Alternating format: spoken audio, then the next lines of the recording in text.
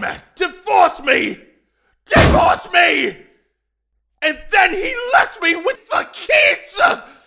I mean, look at this! These were Surge's baby clothes! And he didn't even look at them! Doesn't even care about our children!